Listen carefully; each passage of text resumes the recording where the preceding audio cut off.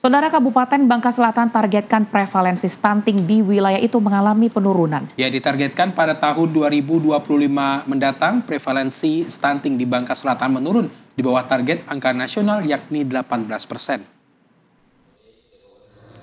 Pemerintah Kabupaten Bangka Selatan Kepulauan Bangka Belitung menargetkan angka prevalensi stunting atau gangguan pertumbuhan pada anak di daerah tersebut terus mengalami penurunan. Bahkan pada tahun 2025 mendatang, prevalensi ditargetkan harus di bawah target nasional sebesar 18 persen.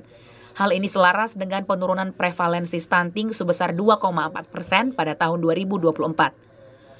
Penjabat Sekretaris Daerah Kabupaten Bangka Selatan, Hevi Nuranda mengatakan pihaknya optimis target penurunan prevalensi sebesar 18 persen dapat tercapai pada tahun 2025 mendatang. Target tersebut ditetapkan sesuai dengan target nasional untuk Kabupaten Bangka Selatan sebesar 18,8 persen pada tahun depan. Sementara saat ini prevalensi stunting masih berada pada angka 20,6 persen setelah mengalami penurunan sebesar 2,4 persen dari 23 persen pada tahun 2024. Hevi Nuranda memaparkan berdasarkan data yang ada terdapat tiga desa di dua kecamatan yang menjadi lokus penanganan stunting. Hal itu dikarenakan prevalensi stunting di tiga desa tersebut masih di atas angka 10 persen sehingga menjadi atensi. Tidak hanya itu, per 1 Agustus 2024 masih terdapat 5 desa di kecamatan diberikan atensi supaya tidak terjadi peningkatan kasus stunting terlepas dari tiga desa utama, yakni Desa Celagen, Kecamatan Kepulauan Pongo dengan prevalensi 9,28 persen.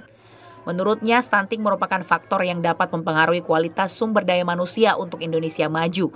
Pentingnya percepatan penurunan stunting dimulai pada saat masa prakonsepsi atau masa sebelum kehamilan sampai dengan seribu hari pertama kehidupan.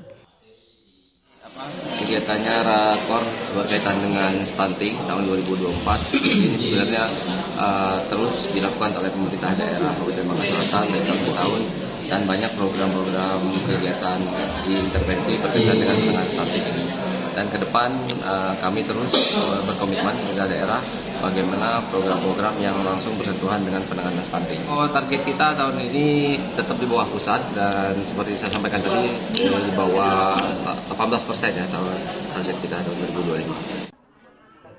Selain itu, Heavy mengatakan dalam penyelenggaraannya percepatan penurunan stunting terdapat 19 indikator pencapaian target antara dan 72 indikator pencapaian target pelaksanaan.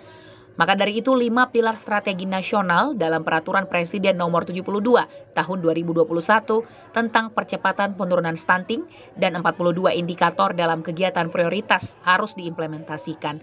Dari Bangka Selatan, Eko Septianto Rashim, TVRI Bangka Belitung melaporkan.